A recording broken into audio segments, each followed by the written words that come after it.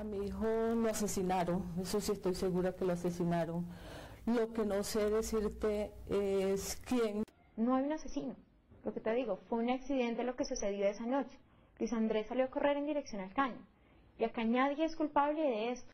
Habían amigos de Laura, habían amigos en común, así que no era solamente fiesta de, de compañeros de Luis Andrés. Los amigos de Luis Andrés eran los que estaban planeando esa fiesta, así que Luis Andrés me invita a la fiesta. Cuando venía a buscar a Luigi, nunca trajo escolta, pero Luigi se me había dicho que Laura utilizaba escolta. Yo esa noche no tenía escoltas, es más, antes de los hechos yo no tenía escoltas. En el caso de que fueran de Carlos Cárdenas, tampoco él nunca ha tenido escoltas. Después de la muerte de él, yo supe por mi otro hijo que Carlos Cárdenas lo había amenazado. Pues yo había terminado una relación con, con Carlos Cárdenas, eh, yo estaba sola, eh, así que Luis Andrés empezó a pretenderme. Mi hijo llama el 24 de octubre a Laura y le dice, Laura, mira, dile a Carlos Cárdenas que yo no quiero, no quiero problemas.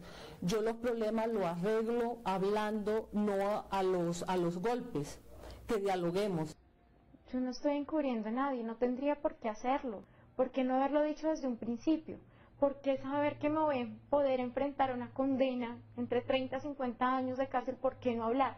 Yo no le creo a Laura. Científicamente se va a demostrar que lo que estoy diciendo es la verdad.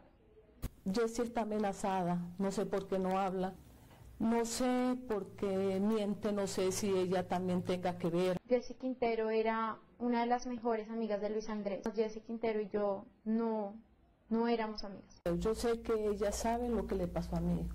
Yo no creo en su inocencia. Yo respeto las decisiones de- del juez y, y sigo confiando en, en la justicia colombiana y sigo confiando en que pronto saldré totalmente libre y totalmente inocente. Mi hijo no va a volver. Mi hijo murió, murió sus ilusiones, murió todo. Yo me estoy jugando mi vida entera, yo tengo 22 años. Si llegara a suceder algo, saldría de una cárcel teniendo 52 años. ¿Yo para qué voy a querer encubrir a alguien? Es insólito.